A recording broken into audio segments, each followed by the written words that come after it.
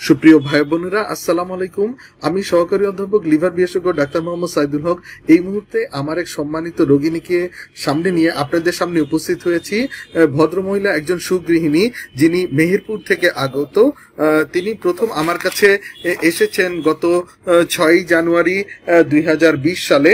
ওনার দীর্ঘ দিনের জন্ডিসের সমস্যা নিয়ে।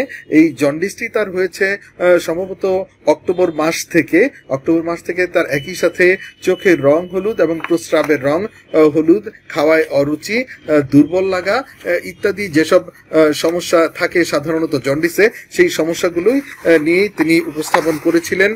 মেহেরপুরে ডাক্তার দেখিয়েছেন। পরবর্তীতে তিনি কুষ্টিয়াতে গিয়েছেন এবং পরবর্তীতে রাজশাহী মেডিকেল কলেজে তিনি বিস্তারিত পরীক্ষা নিরীক্ষা করেছেন। সেখানে ওনার তেমন উন্নতি হয়নি।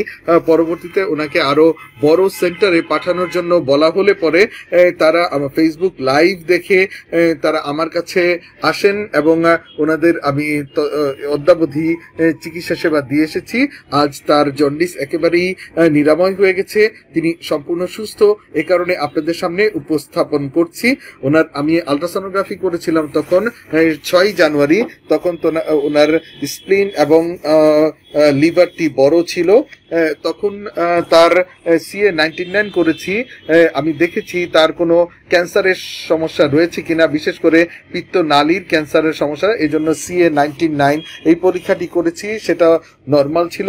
তার সমস্ত ভাইরাল মার্কারগুলো করা হয়েছে hepatitis A hepatitis B hepatitis E hepatitis C, সবগুলো ভাইরাল মার্কার নেগেটিভ ছিল, অর্থাৎ ভাইরাসের কোনো সংক্রমণ তার দেহে ছিল না। এবং জন্ডিস হওয়ার আরও একটি কারণ হলো ওষুধের পার্শ্ব প্রতিক্রিয়া, যেমন যক্ষার ওষুধ কিংবা অন্যান্য বিভিন্ন রকম ওষুধ, সেই ধরনের কোনো ওষুধের পার্শ্ব প্রতিক্রিয়ার কোনো ইতিহাস ছিল না, অর্থাৎ তিনি তেমন কোনো ওষুধও গ্রহণ করতেন না। আমার কাছে যখন এলেন, তখন ছয়ই জানুয়ারি দুই হাজার একুশ তার জন্ডিসের মাত্রা অর্থাৎ বিলিরুবিন ছিল fifteen point nine milligram per DL SGPT ছিল দুইশো তিন অ্যালকালাইন ফসফেটেস থ্রি থ্রি এবং কোনো চুলকানি ছিল না, অর্থাৎ অবস্ট্রাকটিভ জন্ডিসের কোনো ফিচার ছিল না। তার হিমোগ্লোবিন ছিল টেন অর্থাৎ রক্তে স্বল্পতা ছিল। এই কারণে আমি কিছু পরীক্ষা নিরীক্ষা করেছি, তার হিমোলাইটিক অ্যানিমিয়া হয়ে তার জন্ডিস হচ্ছে কিনা, এজন্য হিমোগ্লোবিন ইলেকট্রোফোরেসিস করেছি, সেটিও তার নর্মাল ছিল। পরবর্তীতে চিকিৎসা দেওয়ার পরে গত চোদ্দই জানুয়ারি তার বিলিরুবিন হয় নয় দশমিক ছয় এবং চোদ্দই জানুয়ারি, চব্বিশে জানুয়ারি তার বিলিরুবিন হয় সাত দশমিক তিন। পরবর্তীতে ওনার আহ, আরও সাতাশে জানুয়ারি তার বিলিরুবিন হয় হচ্ছে ছয় মিলিগ্রাম এবং পয়লা ফেব্রুয়ারি তার বিলিরুবিন হয়ে যায় five point three milligram per DL এবং তার আমি হিমোলাইটিক জন্ডিস হয়েছে কিনা এই জন্য তার হিমোগ্লোবিন ইলেকট্রোফোরেসিস করেছিলাম সেখানে কিন্তু নর্মাল হিমোগ্লোবিন ইলেকট্রোফোরেসিস বলেছে অর্থাৎ রক্ত রোগের কারণে যে জন্ডিস হয় তার সেই জন্ডিসও ছিল না। অর্থাৎ কোনো প্রকার জন্ডিসের সাথে তার যে দীর্ঘমেয়াদী জন্ডিস মিলে যাচ্ছিল না। পরবর্তীতে আমি আরও কিছু পরীক্ষা নিরীক্ষা করেছি। তার ডায়াবেটিসের পরীক্ষা করেছি। ডায়াবেটিস ছিল না। তার এসজিপিটি কমে আসছিল ধীরে ধীরে, কিন্তু অ্যালকালাইন ফসফেটেস আবার বাড়ছিল এই অবস্থায় চলছিল। এর পরবর্তীতে দুই হাজার একুশ সালের আহ, উম, আহ, নয় ফেব্রুয়ারি ওনার পরীক্ষা করি। জন্ডিসের পরিমাণ ফাইভ পয়েন্ট নাইন আবার বেড়ে যায় এসজিপিটিও বেড়ে যায়।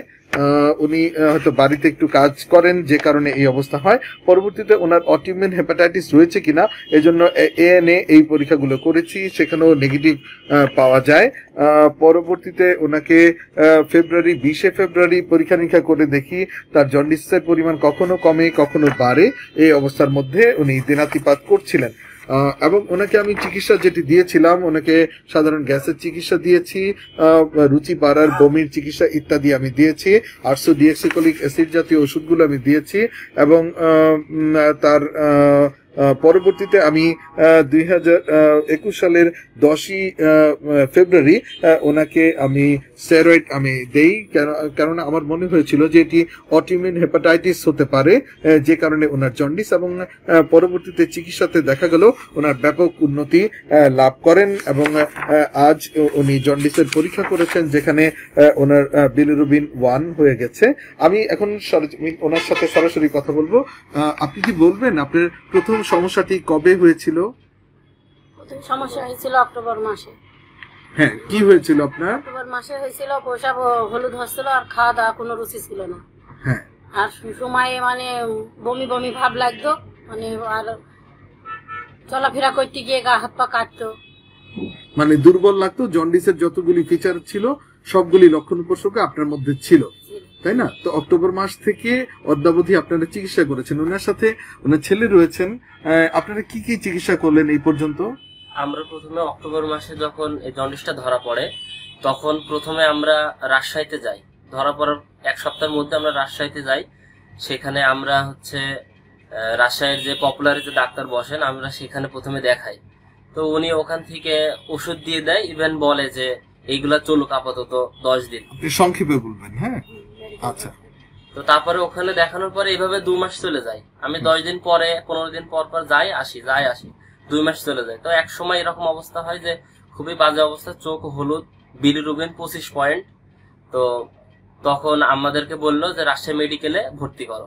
তো রাজশাহী মেডিকেলে ভর্তি করার পর ওখানে ছাব্বিশ দিন আমরা ভর্তি থাকলাম একদম ফুল বেড রেস্ট তারপরও বিলিরুবিন ছাব্বিশে গিয়ে দাঁড়াল। কোনো মতেই কমলো না।